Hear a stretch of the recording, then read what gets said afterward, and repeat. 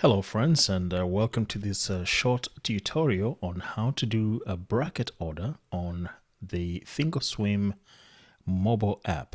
We're going to be doing this on an iPhone. I believe it is the same on an Android phone, uh, but uh, we're going to see how we can place an OCO or otherwise known as a bracket order on the Thinkorswim platform on the mobile app. So first thing I'm going to do is uh, obviously share my screen on the mobile device. Let me go ahead and do that.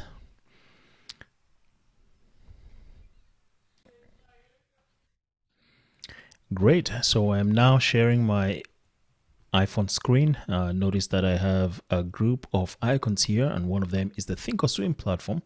So you want to click on that one and log in. In my case, I have got the Face ID uh, already enabled so I'm able to log in just with my face uh, on other mobile applications you may be able to or mobile devices you may be able to log in automatically with uh, a thumbprint or just enter your username and password the index that I'm most interested in here is the SPX. Uh, on Thinkorswim, it is just plain SPX. On other platforms, uh, that may vary. And I am wanting to enter an OCO order.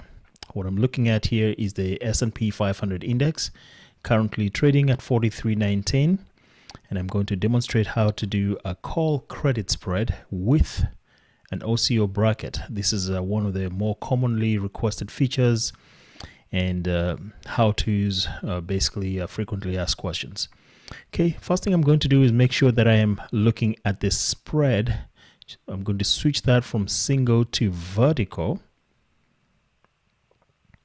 And uh, notice now that my display has changed. I now see strikes with a five point wide spread. And I'm looking at about 10, 10 strikes. You can adjust the view here to show anywhere from 2 to 50 or all the strikes available. Uh, 10 is good enough for me. So we're going to look in the side for calls to look for a call credit spread.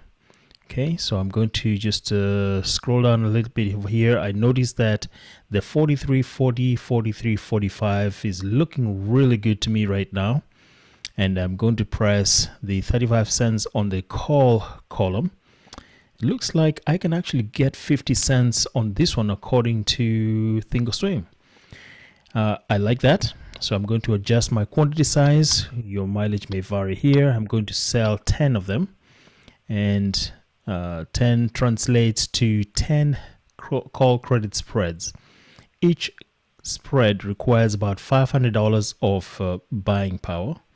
So you can adjust uh, your size here. You can also adjust, you know, whether you want to go a little higher, maybe you want to get 60 cents give or take. Uh, let's let's try and go for 60 cents. And there's a reason we're doing that. It's because we're going to buy this back for about 10 cents. So let's go for 60 cents uh, premium per contract. That means we're going to receive $600 on this contract. And normally you would just review and send the order. However since we want to do an OCO bracket we're going to scroll down a little bit on this order and create advanced order right? Immediately you're now presented with another screen here that says first triggers OCO you notice right there that's what that bracket order is. This is an advanced order. We're still selling 10 for 60 cents or $600 credit on this one. Uh, I am now going to press on the add order and it automatically queues up one for me over here for my take profit order. I love that. So notice that it is going to try and uh, buy back my order here for 10 cents, which is exactly what I like. I want to sell for 60 cents, buy it back for, for 10 cents, and thereby making about 50 cents. But I'm not done yet. All right, I'm going to uh, go back to the group by click by touching the top left over there that says group and I'm going to add to this odd order here and it gives me another buy order for 10 cents but this time I don't want it to buy at 10 cents. This is my risk management order. And so I want to put in what I want to risk here. Since I am buying, sorry, since I'm selling this for 60 cents, then I am just going to do two times uh, that credit, which is going to be about a dollar twenty. Oh. Let's keep going. I could have easily have just typed over these and instead of tapping so many times, but you know, that's uh, didn't take very long. So a dollar twenty. And let me explain why that. Why did I choose a dollar twenty and not anything else? Uh, my thesis here is that if my spread is going the way that I would like it to, there's a chance that it could fluctuate up and down. But if it fluctuates all the way to one dollar, I'm not going to get kicked out. But if it does fluctuate to a dollar twenty, it means that at that point I will have lost about $1,200. But in fact, I received credit of 600. So really, this is a 1x loss. Right? This is a 1x loss. So I'm comfortable losing $1,200 on this one because I received 600 and so my net loss will actually be just the six will, will just be 600. Okay, I review this order because this is an index, I am only interested in uh, a day for the time in force. I'm not going to change anything else. Everything looks good. I'm going to go back to my group. I've got my entry order over there. I've got my take profit order right there and my risk management order right there. Go ahead and review how this looks like.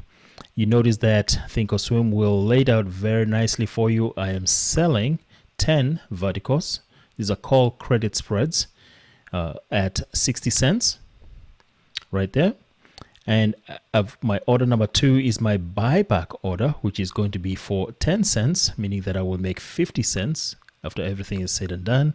And if this order executes, then this one is going to be canceled. That's what the OCO stands for, by the way. Order cancels order or yeah, something like that and then obviously my order number three is my risk management or my or my stop loss so if i am losing and this spread is not going so well then thinkorswim is going to take me out at about a dollar 20 per uh, per contract okay uh, break-even prices uh, says here na uh, my maximum profit on this one is 600 my maximum loss obviously is 4,400, which basically means that each spread, the width of the spread minus the premium received is what my maximum loss is going to be. So on one particular spread, the width is 500. I am receiving 60 cents, right? So my maximum loss on that one is, uh, is 40 cents, right? uh, 40 cents times 100 obviously 400 so I could potentially lose about that much uh, from this trade. But the payout is $600 if everything goes according to plan.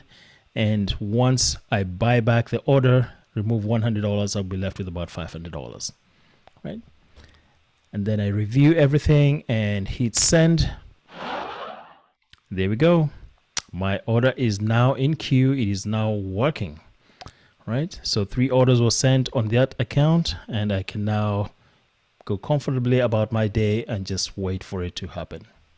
That, my friends, is how you do an OCO order on Thinkorswim mobile platform. Thanks for watching. Bye-bye.